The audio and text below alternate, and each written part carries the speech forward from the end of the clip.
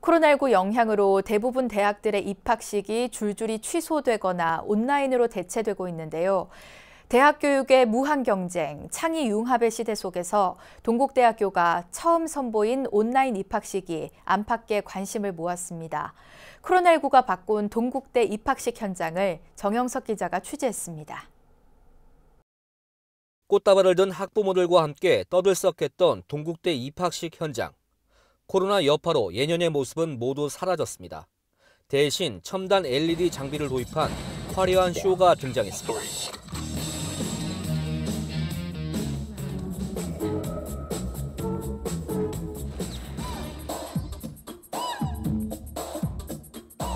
동국대학교가 개교 115년 만에 처음 진행한 온라인 입학식. 카메라 앞에선 윤성희 총장이 영상 속에서 신입생들의 입학을 축하합니다. 우리 동국대학교는 올해를 교육 혁신의 원년으로 삼았습니다.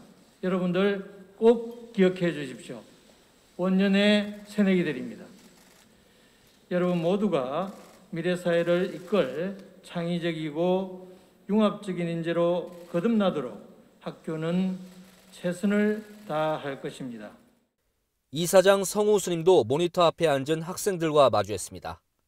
이곳 종국대학교에서 지혜와 자비를 배우고 실천하며 멋진 동국인으로 거듭나 우리 사회의 큰 기둥이 될 수 있도록 여러분의 꿈을 역동적으로 힘차게 키워가기 바랍니다. 이어진 선배들의 입학 축하 영상 메시지.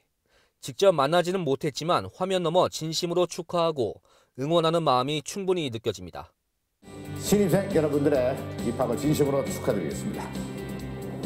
동국대학교 화이팅!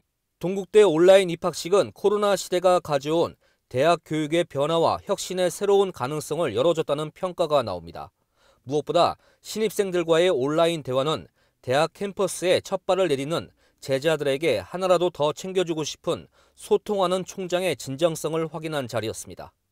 제 꿈을 말씀드렸는데요. 제가 꿈을 이루는데 조금 도움이 될 수 있는 조언해 주시면 감사하겠습니다.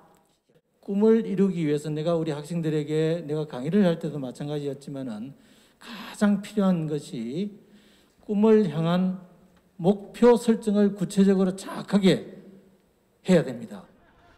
코로나19가 바꿔놓은 입학식 풍경. 예전과 같은 성대하고 요란한 입학식은 찾아보기가 힘들게 됐지만 새 출발의 설레임과 함께 앞날에 대한 따뜻한 응원과 격려는 여전했습니다. 동국대에서 BBS 뉴스 정영석입니다.